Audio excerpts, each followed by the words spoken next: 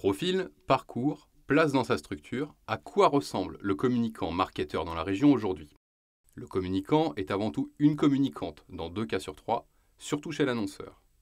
Dans les agences, les équipes sont plus paritaires. Son âge moyen est de 40 ans, 44 pour les freelances, signe qu'on se lance peut-être en indépendant plus tard, après une ou plusieurs expériences professionnelles comme salarié.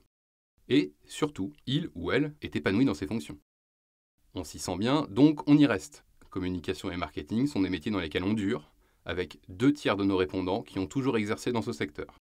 Et contrairement à l'image d'un métier qui s'apprend sur le tas, la majorité des professionnels des Hauts-de-France sont passés par une formation spécialisée. Communication et marketing, les deux fonctions fusionnent dans un peu moins de la moitié des cas. 41% de nos répondants assument en effet ces deux fonctions avec une direction marketing et communication commune dans 45% des cas. Moins de 5 personnes, c'est la taille standard d'un service marketing communication dans la région.